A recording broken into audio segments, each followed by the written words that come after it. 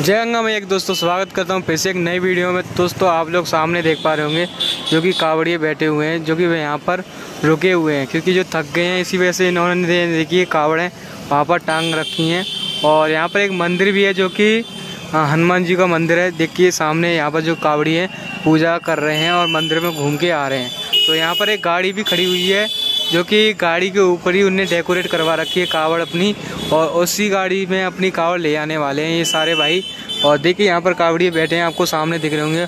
और यहाँ पर देखिए एक और कलश कावड़े आ रही है, वो भी कावड़ हम आपको दिखाएँगे और उनसे पूछेंगे, अभी वो कहाँ से आए हुए हैं? वैसे तो जो सारे वक्त हैं, हरिद्वार से आ रहे हैं, और अभी हमें गाजियाबाद तो चलिए उनसे पूछते हैं कैसे जैसा कि दोस्तों आप लोग सामने देखिए, जो कि भाई कलश कावड़ लेके आए हुए हैं।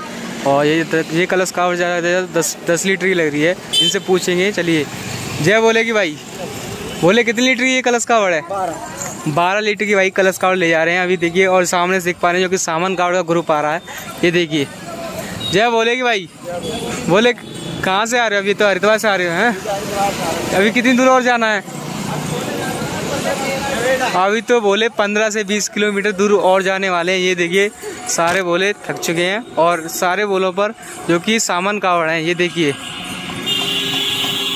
काफ़ी अच्छी कावड़े लग रही हैं इनकी और ये इनका ग्रुप है जो कि पंद्रह से बीस बंदों का ग्रुप है। इनका सामान कावड़ का ग्रुप है टोटली।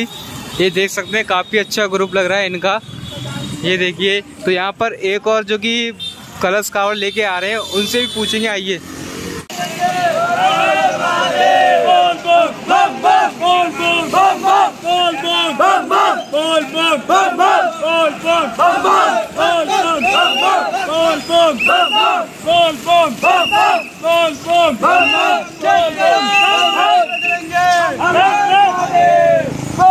जैसा कि दोस्तों आप लोग सामने देख पा रहे होंगे जो कि भाई कलश कावड़ लेके आए हुए हैं और इनसे पूछने के लिए चलेंगे ये बोले कहाँ से आए हुए हैं।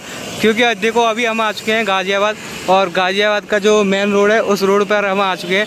चलिए बोले से पूछते हैं। जय बोलेगी भाई? बोले कहाँ से आए आप?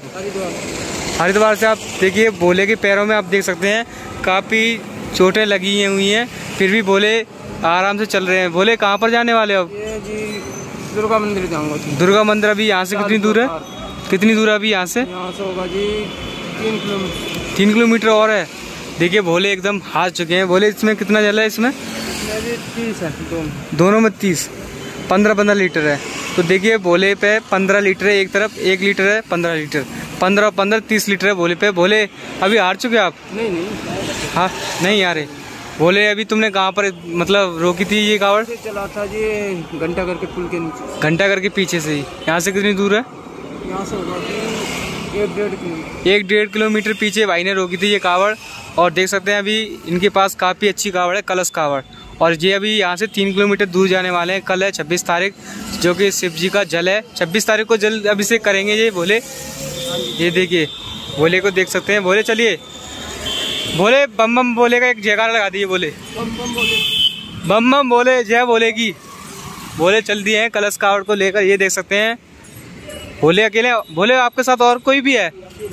अकेले हैं, बोले, देखिए, बोले, हरिद्वार से कावड़ लेके आए हुए हैं। ये देख सकते हैं, पंद्रह पंद्रह और पंद्रह तीस लीटर की कावड़ है, कलश कावड़। और ये देख सकते हैं, काफ़ी अच्छी कावड़ है भाई की। बोले, चल दिए हैं, इनके साथ कोई भी नहीं आया है। तो दोस्तों, इस वीडियो को यहीं पर एंड करते हैं। और भी कावड़ें आ रही हैं, और भी कावड़ में आपको दिखाएँगे। तो और दोस्तों, ये वीडियो बताना, वीडियो कैसी लगी, वीडियो अच्छी लगी हो तो लाइक कर देना। अगर चैनल पर नहीं हो तो चैनल को सब्सक्राइब कर देना, क्योंकि जो हमारे आने वाली वीडियो होगी, वो आप सबसे पहले देख पाएँगे। तो मिलते हैं हमें ऐसी वीडियो में, जब तक के लिए गुड बाय।